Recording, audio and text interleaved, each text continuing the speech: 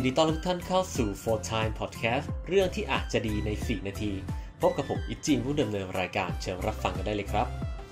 ทุกคนคงรู้จักซูเปอร์ฮีโร่ที่ชื่อว่าตอกันใช่ไหมครับ ที่มาจากการ์ตูนของค่ายมาเวลนะครับในหนังเรื่อง Avenger นะครับผู้เป็นเทพเจ้าสายฟ้าแห่งอาณาจักร Asgardian นะครับอาวุธคู่กายของตอก็คือค้อน Mjolnir นะฮะซึ่งมีความสาความสามารถมากมายหลายประการนะไม่ว่าจะเป็นการควบคุมสายฟ้าใช้ในการตีหรือต่อสู้กับศัตรูหรือความสามารถในการบิน ถ้ามีสักอันเนี่ยมันคงจะดีหรือคงจะเท่มากๆนะครับในพอดแคสต์ของตอนนี้นะครับผมจะมาอธิบายกันครับว่า ค้อนตอเนี่ยความจริงแล้วเนี่ยมันน่าจะมีผลเสียมากกว่าประโยชน์นะครับ เมื่อเรามองในโลกความเป็นจริง ข้อมูลนี้นะครับได้มาจาก YouTube Channel ของ Vsauce 3 นะครับ บนชื่อคลิปที่ว่าคอนตอเนี่ยหนักเท่าไหร่นะครับ ผมพูดตามตรงนะ ผมมาเป็นแฟนของ Vsauce เนี่ยมานานมากนะครับรบกวนลองไปติดตาม subscribe ใน YouTube ของเขาด้วยนะครับตามหนังสือการ์ตูนนะคอนตอเนี่ยหนักประมาณ 20 กิโลกรัมนะครับถูกสร้างจากเหล็กธาตุอูรุนะครับเป็นธาตุที่สมมติฐานขึ้น เป็นธาตุที่มาจาก ดวงดาวที่กำลังจะตายหรือดวงอาทิตย์ที่กำลังจะดับลงนะครับ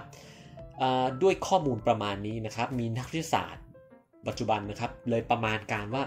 ถ้าค้อนตอเนี่ยถูกสร้างขึ้นจากดวงอาทิตย์ที่จะตายลงจริงๆเนี่ยค้อนเนี่ยมันน่าจะมีน้ำหนักเนี่ยไม่ต่ำกว่า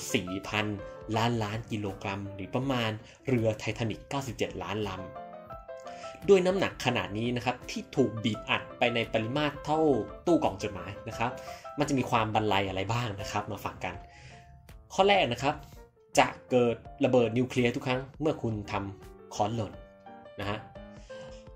ด้วยน้ำหนักขนาดนี้นะครับเขามองว่าถ้าคุณปล่อยด้วยความสูงคนเราปกติ 180 170 เซนเนี่ยถ้าคุณถือค้อนแล้วปล่อยมันลงมาที่พื้นเนี่ยมันจะเกิดระเบิดครั้งใหญ่นะครับ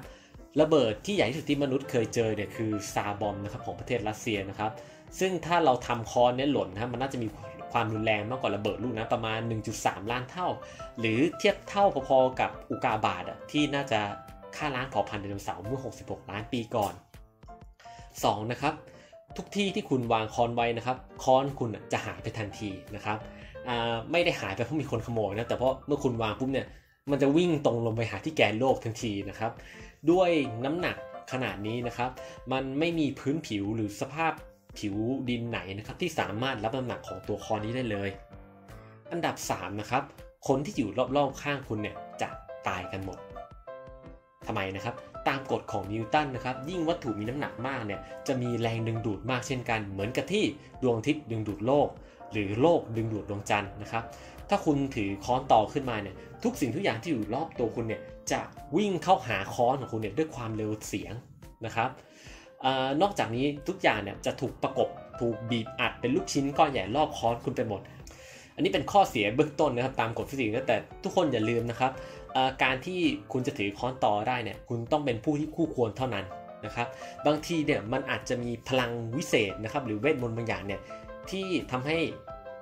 คนที่อยู่รอบๆข้างผู้ใช้เนี่ยไม่โดนเอฟเฟกจากคอต่อจริง ๆ ก็ได้ที่ผมกล่าวมานะครับหรือไม่แน่นะครับ